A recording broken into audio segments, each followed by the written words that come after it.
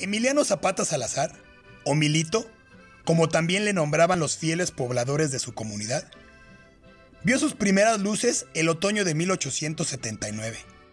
Flamante líder ejidal por excelencia, nace en la aldea de Nenecuilco, cabecera del pueblo de Villa de Ayala. Reconociendo su temperamento subversivo, en tenor de la justicia, a sus escasos 30 años de edad, es comisionado presidente del Consejo de Anenecuilco, designado a ser el protector de sus pobladores. Zapata fue también uno de los mejores domadores de caballos de la región. En Morelos, Puebla y la capital, todos se disputaban sus servicios. Al morir sus padres, él, Eufemio y sus demás hermanos heredaron algo de tierras y un poco de ganado. No vivían en la pobreza. Tuvieron la gran fortuna de asistir a la escuela elemental rural, donde adquirieron las bases de un juicio básico suficiente para fomentar un pensamiento crítico.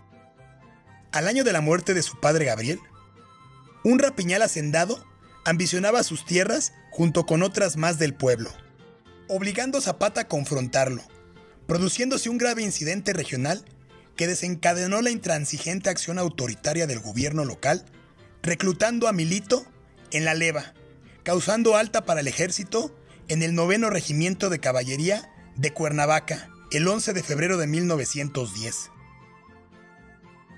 Afortunadamente para él y la comunidad, el dueño del ingenio azucarero más grande de todo México, Ignacio de la Torre y Mier, quien asiduamente contrataba los servicios de Zapata adiestrando sus caballos, y que también fue su patrón un tiempo, y que además, sin elementos de investigación claros por supuesto, la calumnia dice que era su amante. Dejamos un video en la descripción donde hablamos de ello. De la Torre y Mier mueve sus influencias para licenciar al futuro caudillo del ejército, siendo dado de baja un mes después. Seguidamente al medio año de abandonar el ejército, atiende el llamado revolucionario de Francisco y Madero, e inspirado por los triunfos de Francisco Villa y Pascual Orozco en el norte, organiza a todos los levantados de Morelos para irse a la bola en contra de don Porfirio. Y montando un caballo, obsequio del cura de Axochiapan, toma por la fuerza de las armas las tierras robadas de Adendecuilco y empieza su revolución.